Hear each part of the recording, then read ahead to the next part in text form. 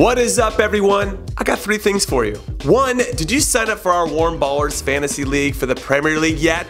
If yes, good luck. And if not, then seriously, what's the holdup? I'm flying to the winner's house no matter where you live in the world and having a pickup game with you and your friends, which is like the best grand prize of all time. And two, warmballers.com. You should have this website saved because we got big things coming. And three, it's time for the very curious news from around the globe with the amazing Conradinho. Very curious news, Adam. Number one, Barcelona has money to burn. And with an influx of 222 million euros now in their bank account after their bitter sale of Neymar to PSG, they are now in a position to ruin the lives of many supporters of other clubs around the world because they are in the hunt to replace the talent that they lost. And target number one is Liverpool's Philippe Coutinho, who has emerged as one of the most talented midfielders in the world and who at 25 years of age is just about to enter the prime of his career. But according to recent reports, Liverpool turned down a much improved bid from Barcelona in the range of 100 million euros, and Coutinho apparently said he would not ask to leave. So it seems like nothing is gonna happen. But come on!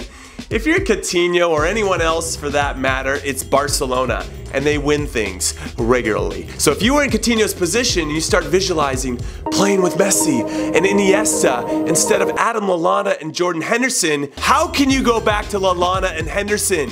You can't. It's impossible. So I think at some point, Coutinho's gonna push to leave. Or perhaps he could go the Luis Suarez route and bite someone to make the move happen.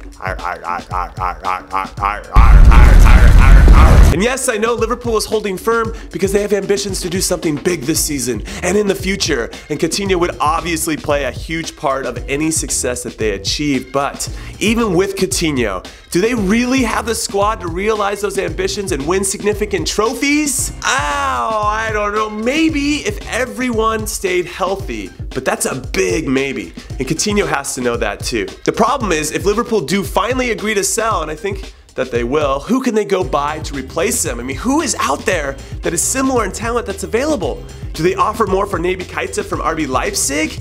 Who isn't as good as Coutinho. Or maybe they go and fill a need with center back Virgil van Dijk, even though they've been turned down previously, I think six or seven times, and just say, hey, listen, we got the cheddar, man. Or maybe they sting Barcelona with their own money by going after their second target, Ousmane Dembele. I mean, how many Dembele Liverpool shirts would they sell if that happened? A shit ton. That's what I think. And they would have a bona fide superstar on their hands. But does Liverpool still have that magic anymore as a club that players dream to play for?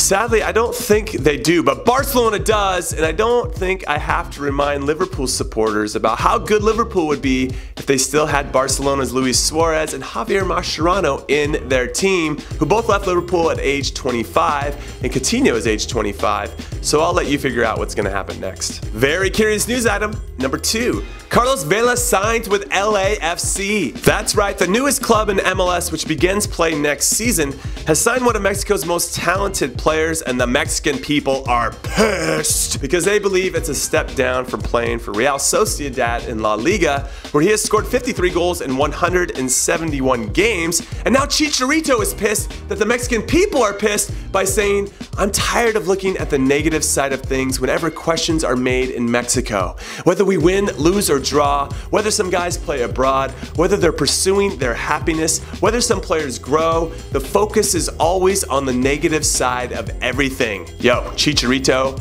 getting after it. And he continued, we have to look at the positive side of things. The fact that Jonathan Dos Santos has joined his brother with the Galaxy, that's a dream they both had. They'll be living a better life. Why is that wrong?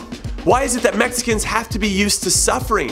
because Chicharito is in England, in London, playing in a country with a different language, so he's worth it and the rest are not? Yo, I, I didn't even know Chicharito had this in him. So go on, little P, keep preaching, because I love it when you get outraged. Very curious news item number three. Is Tottenham's Danny Rose a genius or an idiot? The England international and Spurs left back gave a candid interview to The Sun but was it off the cuff when the Sun caught him in a moment of frustration? Or was it planned and he and his agent knew exactly what they were doing? Because listen to what came out of Rose's mouth. First, he said that his wages are too low, which is what every player feels. So that's really nothing new. Then he said that he felt like he wasn't exactly valued for what he should be compared to players at other clubs. And again, this is a typical player complaint. Move along, nothing new here. Then he said that he had one more contract left in him and how he was gonna get what he was worth, even if that means moving up north, which, okay. Not only is he referencing the Manchester clubs who have a lot of cheddar, but this is a clear signal of intent that this might be more serious than a player griping about getting some more money. Because then he said he was desperate to win a trophy and didn't want to have a 15 year career with nothing to show for it, which Holy shit, that is an incredible dig at Spurs. And then he said that he wanted Spurs to sign players who he didn't have to Google to know who they were, which holy fuck, he did it! He fucking did it. He made this personal by taking a big swipe at how the manager Mauricio Pochettino and chairman Daniel Levy do their business. So if you're Pochettino, what do you do here? Because this is a player that you're so fond of that the other players have nicknamed him the Gaffer's son. Also, sidebar, how does Heung-min Son feel knowing someone else on the team is being called the gaffer's son because his last name is Son? I mean, that's a serious question. I really just want to know what you guys think. Also, how does this affect the Spurs players? Will they be mad at Rose? Or will they be like, well, yeah, I mean, our best player, Harry Kane, who happens to be the hottest striker in the league over the last two years, doesn't make as much as Ashley Young. So we need to get and if Spurs plan to keep spending low over the next few years to help, among other things, finance this new stadium, they could have a squad of very talented but unhappy and underpaid players that are frustrated that the club doesn't want to make any big signings to help them win trophies, which, when you think about it, sounds pretty familiar to their North London neighbors when they move to the Emirates Stadium.